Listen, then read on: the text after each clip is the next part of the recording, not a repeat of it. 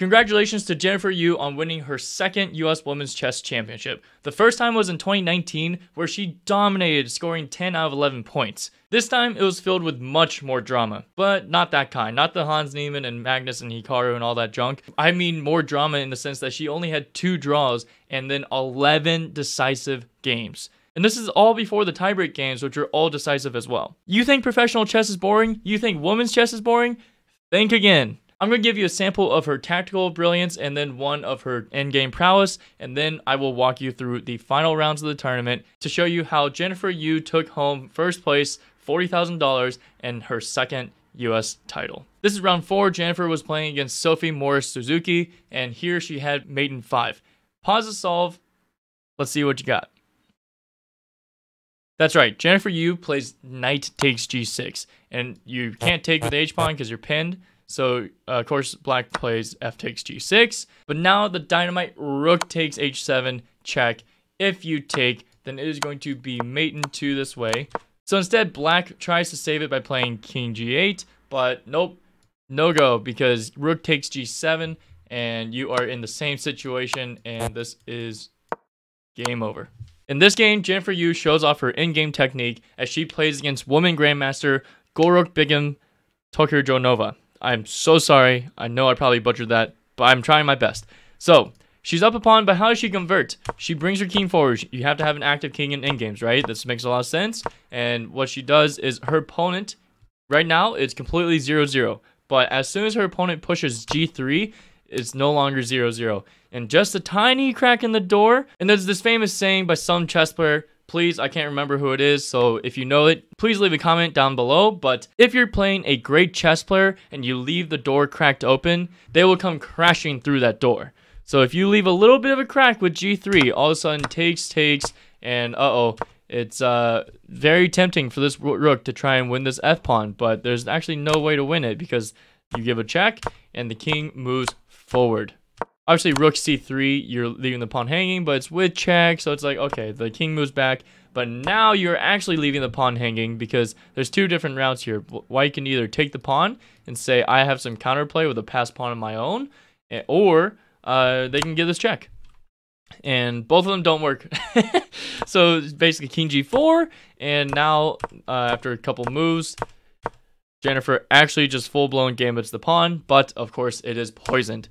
Um, if you take that pawn, all of a sudden, uh-oh, g3. And yes, you can give this check on rook h7, but it doesn't matter because you give another check and all of a sudden the white rook, you have to leave, right? Because you can't take with the king. Obviously, it's supported by this pawn.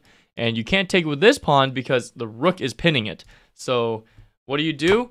You move the rook away. Now you lose your pawn and it's going to be a race. Can white promote this past pawn? Or will black steamroll and roll these two connected passed pawns down the board?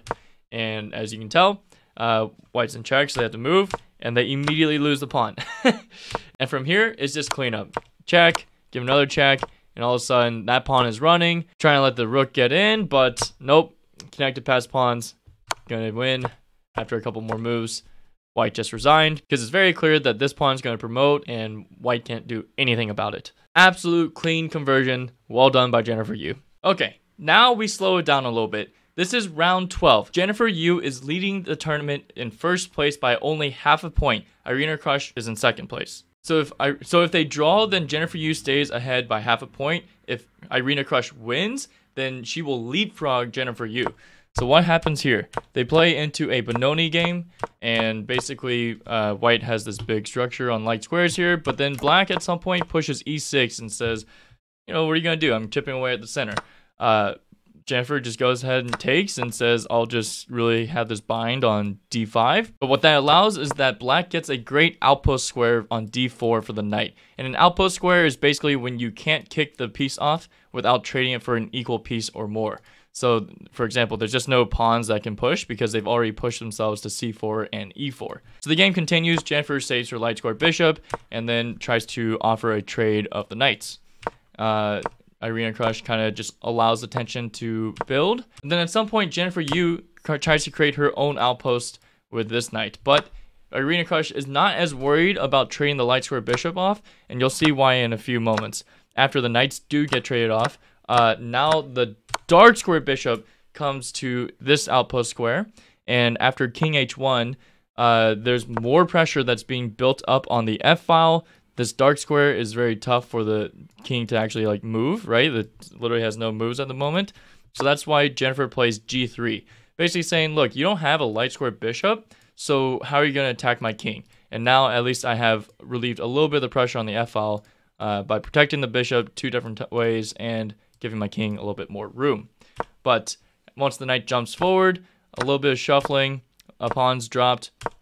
Um, okay, rook f1, queen d7, and now bishop takes e5. And here's the tricky part. Irina Krush could have easily just taken back immediately and the game is still even. But what she does instead is she gets a little bit too cute for her own good and plays rook e8, trying to pin the bishop to the queen. And what this allows for Jennifer is that she gets to play queen f3, and then after bishop takes, she can play h5 and basically say, look, I have all this pressure on the light squares. I'm breaking up your structure here. And now white has all the pressure on the F file. You see how a few moves ago, it was actually black who controlled the F file? Well, now that the F file is actually fully open, white's the one that has control. So this is a strong attack that white, that black would have to deal with.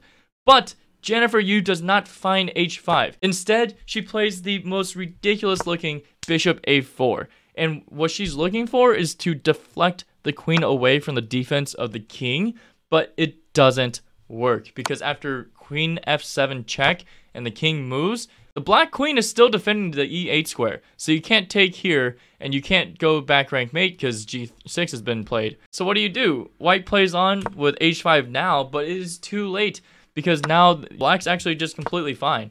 Um, yeah, the, the queen starts coming through with checks and yeah, there's another check there's a check from the rook, and Jennifer Yu has to resign because you're going to either lose your queen with queen f4, or if you try to run, you're just you're just getting mated. I mean, bishop e3, all the black's pieces are working harmoniously, and the queen will re-enter with some checks, and it's going to be mate.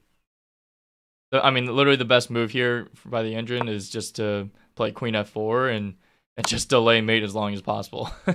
so that that's when you know it's not a good sign. But with this win, Jennifer Yu has actually lost the grip on first place, and Irina Krush is up by half a point now. So going into the last round of the tournament, round 13, Jennifer Yu had to win on demand. And basically, if Irina Krush wins and Jennifer Yu wins, then Jennifer still finishes second place. But fortunately, Irina Krush did draw. So Jennifer Yu found herself in this position, and she had to find a way to convert this in game. And if you look at it, she's down a pawn, but she immediately wins it back, okay? So now, how does she convert? She tries to trade off the knights, but instead her opponent gives her a check, and now Jennifer Yu starts waltzing her king forward. And like active king is super important in, in games, right? So now as she trades off the knights and brings her king even closer, the rook is forced to leave, and uh-oh, now that the rooks are connected, they are extra powerful, right? But you know, Jennifer Yu, she does get skewered here uh, on this file to drop the H pawn, but you know, she has other assets. Even though white has these two passed pawns, they're doubled pawns, so they're a little bit easier to pick off, but even worse for white is that these two connected pass pawns are going to be much faster.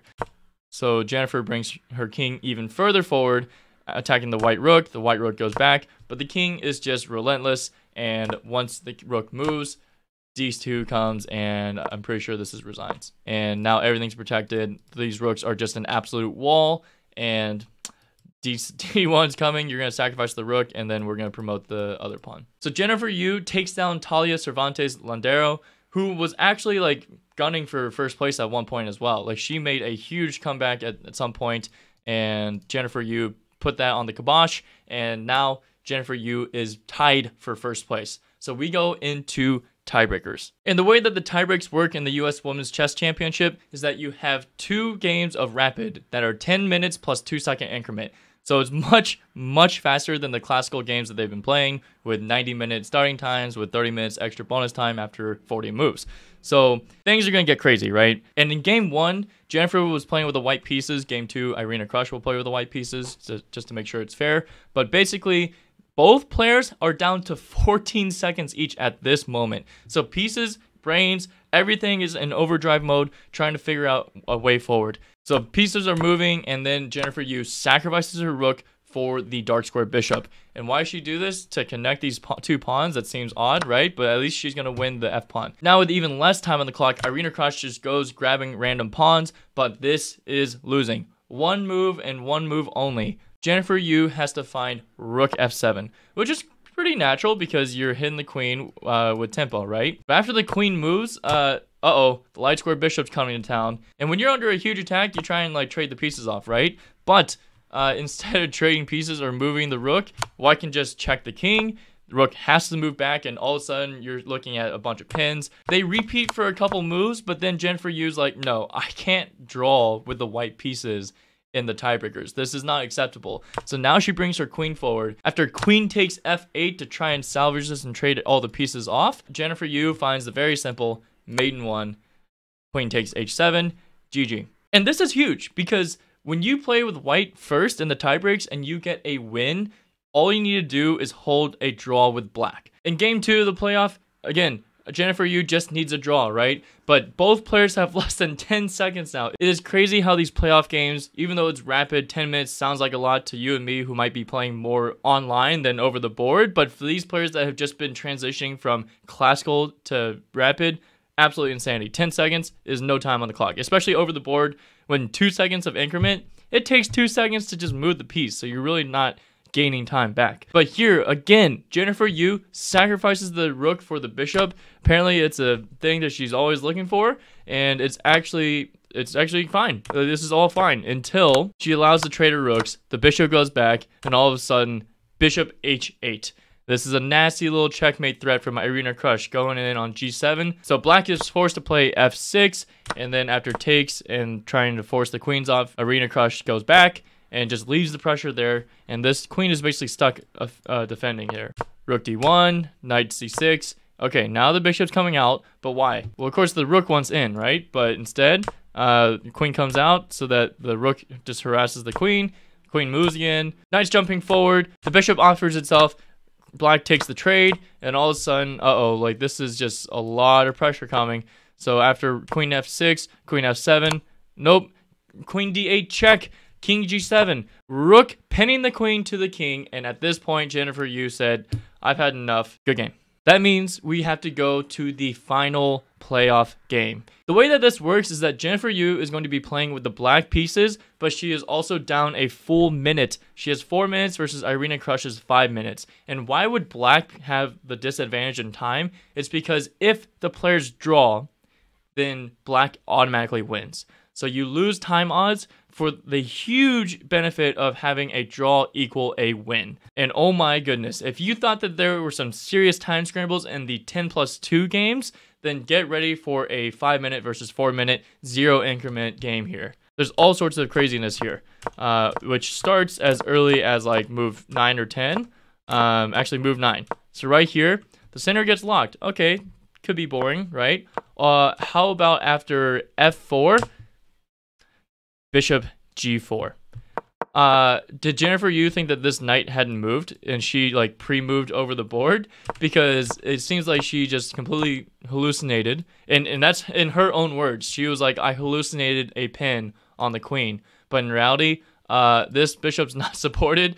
There's no piece between the the queen and the bishop, so Irina Krush goes up a full piece on move 10. Whoa, hasn't has a material advantage which should be crushing at any top chess level and also is up on the clock at this point because it's so early and she started with plus one minute. So how does Jennifer Yu create counterplay? Because you have to, right? You there's no option. And and in her interview, she even said, "I blundered a bishop twice against Irina Krush. I will not let this be the reason why I lose the U.S. Chess Championships."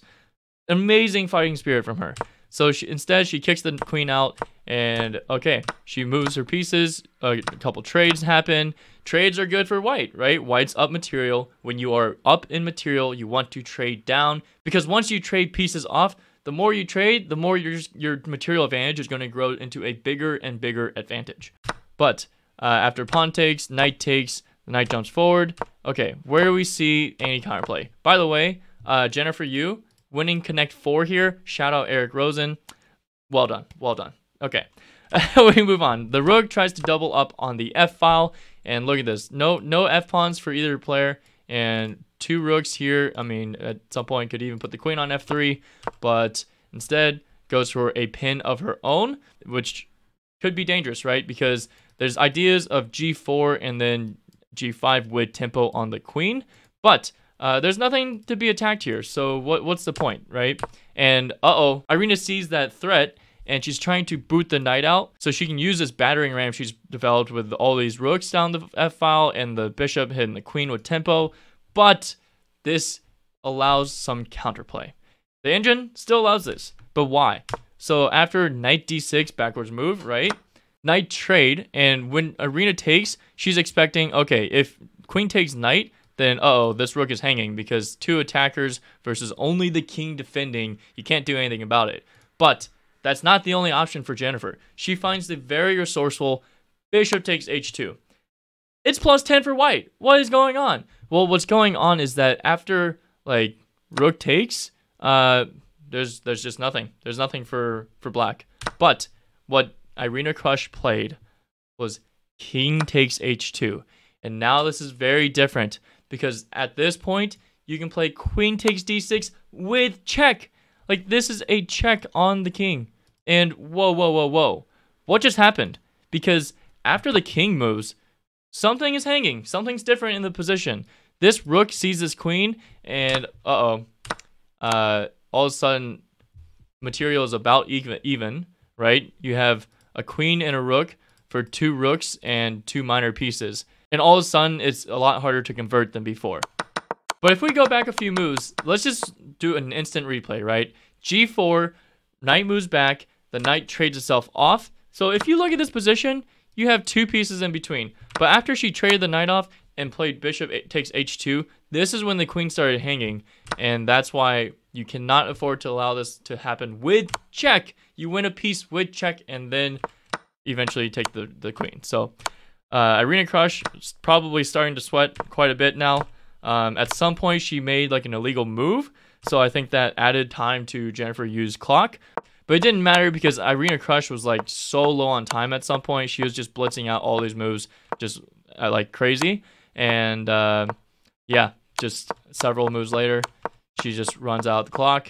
Jennifer Yu finds a way to shuffle around and flag the Grandmaster Irina Krush, a 38 year old absolute veteran, a true legend in US women's chess. She was the first US woman to ever get the Grandmaster title. And Jennifer Yu just casually gambits a bishop on move 9 for no compensation whatsoever and takes down Irina Krush. Absolutely amazing tournament by Jennifer Yu. It wasn't as dominant as her 10 out of 11, but I bet this victory probably feels even sweeter than the last. If you want to hear more chess stories like this, let me know in the comments down below which stories of yours are your favorite, and I'll try to do some investigation and make a video on it. Hope you enjoyed. Happy learning, everyone.